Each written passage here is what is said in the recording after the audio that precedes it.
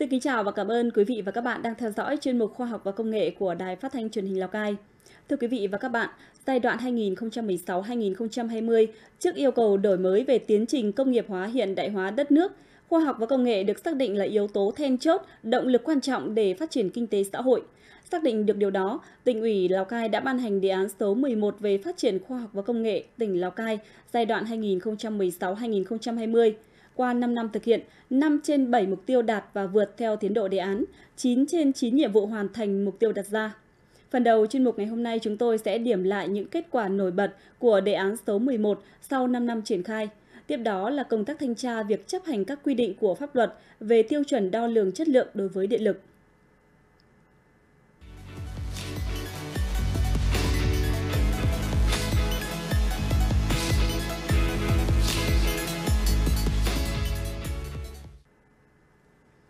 Thưa quý vị và các bạn, giai đoạn 2016-2020, tỉnh Lào Cai đã triển khai thực hiện đề án số 11 gồm 7 mục tiêu và 9 nhiệm vụ. Kết quả là 5 trên 7 mục tiêu đạt và vượt theo tiến độ đề án, 9 trên 9 nhiệm vụ hoàn thành mục tiêu.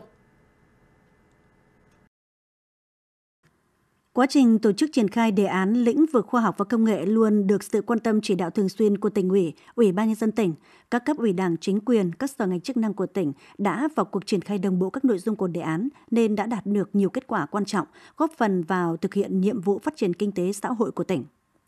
Sau 5 năm, Sở Khoa học và Công nghệ đã đạt thành công lớn trong thực hiện mục tiêu tăng nhãn hiệu được bảo hộ đối với các sản phẩm hàng hóa của tỉnh được bảo hộ so với giai đoạn trước – đạt trên 500% chỉ tiêu kế hoạch. Trong giai đoạn này, đã hỗ trợ kinh phí bảo hộ được 31 nhãn hiệu mang địa danh các sản phẩm đặc hữu của tỉnh, đạt gấp 6,2 lần mục tiêu đề án. Lũy kế hết năm 2020, toàn tỉnh có 258 nhãn hiệu được cấp quyền bảo hộ. Riêng trong 5 năm, từ 2016 đến nay, toàn tỉnh đã có 139 nhãn hiệu được cấp quyền, gấp 2 lần so với mục tiêu đề án.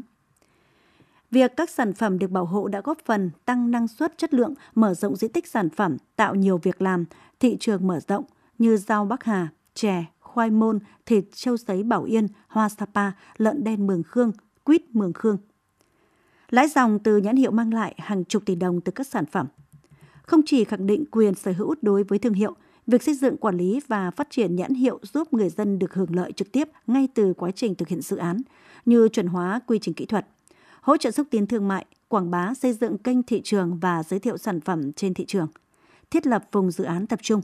quy mô lớn thuận lợi cho việc áp dụng quy trình kỹ thuật công nghệ cao và tiếp cận, mở rộng thị trường tiêu thụ sản phẩm.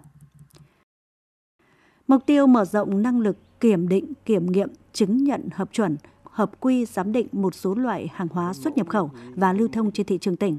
đã thực hiện dự án đầu tư trang thiết bị cho Trung tâm Kiểm định và Kiểm nghiệm chất lượng hàng hóa tỉnh Lào Cai – mở rộng được năng lực kiểm định về an toàn. Nguồn thu từ các hoạt động dịch vụ khoa học công nghệ từ năm 2016 đến nay đạt khoảng 14,64 tỷ đồng, đạt 41,72% mục tiêu đề án. Ước tính đến hết năm 2020, thu đạt 18,18 tỷ đồng từ các hoạt động dịch vụ khoa học công nghệ, bằng 178,2% mục tiêu đề án, đảm bảo tự chủ 100% chi thường xuyên cho đơn vị. Cơ chế quản lý hoạt động nghiên cứu ứng dụng công nghệ được đổi mới, các kết quả nghiên cứu khoa học đã mang lại hiệu quả thiết thực góp phần vào việc xây dựng, phát triển kinh tế xã hội địa phương. Giai đoạn 2016-2020 đã theo dõi nắm bắt tình hình thực hiện 113 đề tài dự án, trong đó có 76 đề tài nghiên cứu khoa học, 32 dự án thuộc chính sách khuyến khích ứng dụng tiến bộ khoa học công nghệ, 5 dự án thuộc chương trình nông thôn miền núi Trung ương ủy quyền cho địa phương quản lý. Trong lĩnh vực khoa học xã hội nhân văn, kết quả các đề tài như xây dựng phương pháp đánh giá cán bộ công chức các cơ quan hành chính cấp tỉnh, cấp huyện và cấp xã, ứng dụng công nghệ thông tin trong giải quyết khiếu nại tố cáo của công dân đã được các cấp, ngành áp dụng thực tiễn trong quản lý là cơ sở để hoạch định chiến lược, định hướng các giải pháp phát triển kinh tế xã hội của tỉnh và địa phương. Trong lĩnh vực y tế, kết quả các đề tài như phẫu thuật thay thế khớp háng bằng vật liệu nhân tạo, nâng cao chất lượng y tế thôn bản, áp dụng công nghệ khử trùng tiên tiến để chống nhiễm khuẩn, lây chéo tại bệnh viện – đã mang lại hiệu quả tích cực trong việc chăm sóc sức khỏe nhân dân. Đặc biệt trong lĩnh vực nông nghiệp và phát triển nông thôn, thông qua kết quả của các đề tài dự án đã bổ sung được nhiều giống cây trồng vật nuôi vào cơ cấu giống của tỉnh, góp phần tạo các vùng sản xuất nông nghiệp hàng hóa của tỉnh như lúa, chuối, quế, các loại hoa, cây ăn quả. Thông qua các đề tài nghiên cứu đã góp phần bổ sung được 35 giống cây trồng vật nuôi vào cơ cấu giống của tỉnh với 74 quy trình kỹ thuật. Bước đầu, người dân vùng cao đã tiếp nhận và ứng dụng tiến bộ khoa học công nghệ vào sản xuất, tạo thêm ngành nghề sản xuất mới, góp phần tăng thu nhập kinh tế hộ gia đình. Đã tập trung nghiên cứu, bảo tồn, phát triển vùng nguyên liệu và chế biến, xây dựng mô hình sản xuất, nhân giống đối với 23 loại cây dược liệu, nghiên cứu xây dựng mô hình nông nghiệp công nghệ cao đối với 7 loại rau hoa có giá trị kinh tế cao tại huyện Bát Sát, Bắc Hà, Bảo Thắng. Đã thu hút được nguồn vốn đáng kể của các tổ chức và cá nhân, trong đó có 74,79 tỷ đồng là nguồn vốn của Trung ương hỗ trợ, 129,08 tỷ đồng là vốn của nhân dân và doanh nghiệp đầu tư vào hoạt động nghiên cứu ứng dụng tiến bộ khoa học công nghệ.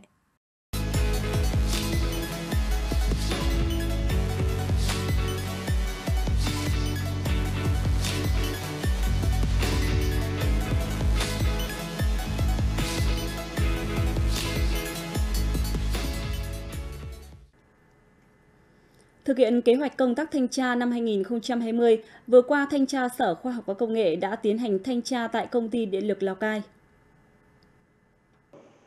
Theo Sở Khoa học và Công nghệ, mục đích của việc tiến hành thanh tra là để đánh giá phù hợp của phương tiện đo đối với quy định về phê duyệt mẫu, kiểm định, sự phù hợp của chứng chỉ kiểm định, thời hạn có giá trị của chứng chỉ kiểm định hiệu chuẩn. Đặc biệt là đoàn sẽ tiến hành lấy mẫu công tơ để kiểm tra sai số của kết quả cho phép đo so với giới hạn sai số cho phép.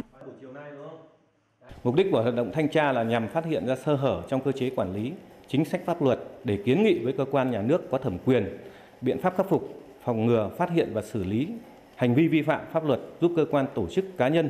thực hiện đúng quy định của pháp luật, góp phần nâng cao hiệu lực, hiệu quả trong công tác quản lý nhà nước, bảo vệ lợi ích hợp pháp của cơ quan và tổ chức cá nhân. Đối với thanh tra về đo lường là để đánh giá tính hợp pháp và tính chính xác của các phương tiện đo dùng trong mua bán điện, kiểm tra thực tế niêm phong kẹp trì, tem, dấu và giấy chứng nhận kiểm định, thời hạn kiểm định của phương tiện đo.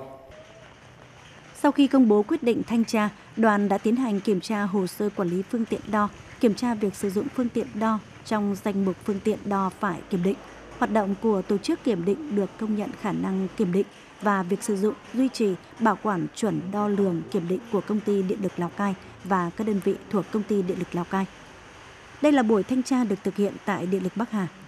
Từ tháng 6 năm 2016, Điện lực Bắc Hà được sắp nhập với Điện lực Simacai, lấy tên thành Điện lực Bắc Hà thuộc công ty Điện lực Lào Cai trực tiếp thực hiện nhiệm vụ sản xuất kinh doanh điện năng và các hoạt động dịch vụ điện lực đến mọi đối tượng khách hàng trên địa bàn 27 xã và hai thị trấn thuộc huyện Bắc Hà và Simacai.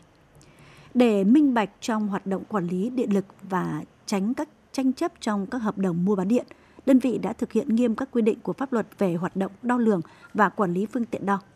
Theo báo cáo tại buổi thanh tra, Điện lực Bắc Hà đang quản lý trực tiếp và sử dụng tính đến ngày 31 tháng 12 năm 2019 là 21.112 phương tiện đo và tính đến ngày 31 tháng 8 năm 2020 là 22.272 phương tiện đo gồm các loại công tơ điện một pha, ba pha kiểu cảm ứng và điện tử, biến áp TU, biến dòng TI để đo đếm điện năng sử dụng cho mục đích mua bán, thanh toán điện năng với các tổ chức cá nhân liên quan. Số phương tiện đo hầu hết là do Trung tâm Thí nghiệm Điện Lào Cai thực hiện kiểm định. Chi nhánh đã tích cực kiểm soát yêu cầu kỹ thuật đo lường đối với các phương tiện đo thông qua kế hoạch thay thế định kỳ hàng năm, luôn nỗ lực để đảm bảo các phương tiện đo được kiểm định định kỳ trong quá trình sử dụng theo quy định của pháp luật. Cụ thể, năm 2019, kế hoạch thay định kỳ là 2.071 phương tiện đo các loại và đơn vị đã tiến hành thay được 2.065 phương tiện đo còn 6 phương tiện đo chưa được thay là do đơn vị tập trung thay thế công tơ lỗi, thay công tơ đo xa điện tử, chuẩn hóa số cột, thông tin khách hàng, thực hiện các chỉ tiêu thu nộp do tổng công ty giao. Năm 2020 có tổng số 2.812 phương tiện đo các loại phải thay định kỳ, thì đến hết tháng 8 năm nay, chi nhánh đã thực hiện được 2.382 phương tiện. 430 phương tiện đo còn lại sẽ được hoàn thành trong quý 4 năm nay. Trong công tác kiểm tra kiểm soát thực hiện theo ba bước theo đúng quy trình kinh doanh của Tập đoàn Điện lực Việt Nam. Bước thứ nhất là hàng tháng trong kỳ ghi chỉ công tơ điện lực áp dụng sổ ghi chỉ số công tơ điện tử bằng máy tính bảng, cài đặt cảnh báo 30% đến khách hàng có sản lượng tăng đột biến. Nhân viên ghi chỉ số công tơ trực tiếp đã kiểm tra tại chỗ khi có cảnh báo. Bước 2, khi nhập vào chương trình commit để in ấn hóa đơn điện tử,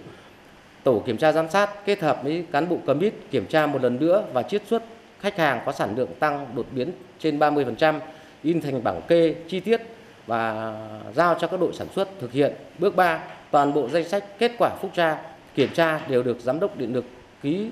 và giao nhiệm vụ thực hiện kiểm tra kiểm soát trước khi in ấn hóa đơn tiền điện. Việc kiểm tra kiểm soát và pháp lệnh theo đo lường thì thực hiện trên chương trình Commit 3.0 của Tập đoàn Điện lực Việt Nam hàng tuần, hàng quý danh sách các thiết bị kiểm tra, kiểm định thực hiện kịp thời thay thế những công tơ đến hạn. Đặc biệt, ngoài thực hiện các quy định của pháp luật, Điện lực Bắc Hà cũng đã đưa một số giải pháp mới vào triển khai thực hiện để tháo gỡ những khó khăn hiện tại, tránh sai lệch, thiệt hại, tạo niềm tin cho người tiêu dùng. Điện lực Bắc Hà được sát nhập với Điện lực Simacai năm 2016 ờ, thì ờ, do quản lý hai huyện, ờ, chiều dài đường dây và cũng như là số lượng các trạm biến áp Ờ, lớn và ờ, tổng số khách hàng là trên 22.000 khách hàng nên việc ờ, kiểm tra, kiểm soát cũng gặp rất nhiều khó khăn vì đường xá đi lại và đặc biệt là vùng sâu, vùng xa nhưng điện lực Bắc Hà cũng đã áp dụng tất cả các công nghệ hiện có, thời đại công nghiệp 4.0 để thực hiện vào cái công tác kiểm tra, kiểm soát của mình. Cho đến nay thì toàn bộ cái sự phản ánh của khách hàng về trung tâm chăm sóc khách hàng cũng như là Ờ, về mức độ hài lòng của khách hàng đều tin tưởng và hài lòng cái việc chăm sóc khách hàng của Điện lực Bắc Hà. Theo đánh giá sơ bộ thanh tra ban đầu cho thấy, Điện lực Bắc Hà nói riêng và các đơn vị đã được tiến hành thanh tra trong đợt này thực hiện tương đối tốt việc chấp hành pháp luật chuyên ngành về lĩnh vực điện và luật đo lường như các đơn vị hoạt động đều có quyết định thành lập giấy ủy quyền ký kết hợp đồng mua bán điện. Trên cơ sở kết quả thanh tra thực tế, đoàn thanh tra đã yêu cầu công ty chủ động tăng cường công tác tự kiểm tra của đơn vị, giả soát hồ sơ quản lý và kiểm tra thực tế của các phương tiện đo, chỉ đạo giám đốc điện lực các huyện, thành phố và các bộ phận liên quan đảm bảo chu kỳ kiểm định và các yêu cầu về đo lường của phương tiện đo theo quy định của pháp luật lập và lưu giữ hồ sơ đầy đủ theo quy định.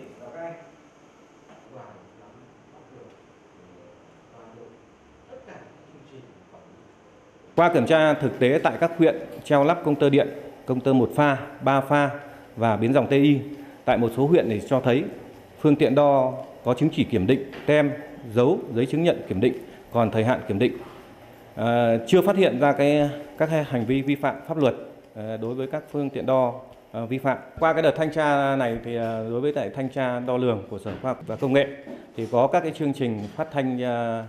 chuyên đề về à, hoạt động thanh tra, về các hoạt động khác của lĩnh vực quản lý khoa học và công nghệ. Thì à, đợt này thì có cái lồng ghép chương trình và phổ biến tuyên truyền các quy định của pháp luật đối với lại à, hoạt động thanh tra về đo lường giúp cho bà con và những tổ chức cá nhân sử dụng điện đối với các phương đo đối với các phương tiện đo hiểu rõ cái công tác quản lý về đo lường đối với lại thanh tra khoa học và công nghệ. Điện là một mặt hàng thiết yếu, không thể thiếu. Việc thường xuyên tổ chức thanh tra kiểm tra sẽ giúp đảm bảo tính minh bạch trong hoạt động sản xuất kinh doanh và hơn hết là tránh được các tranh chấp trong hợp đồng mua bán điện và giúp người dân yên tâm trong quá trình mua bán, sử dụng. Chuyên mục Khoa học và Công nghệ kỳ này tới đây là kết thúc. Cảm ơn quý vị và các bạn đã quan tâm theo dõi. Xin kính chào và hẹn gặp lại trong các chuyên mục kỳ sau.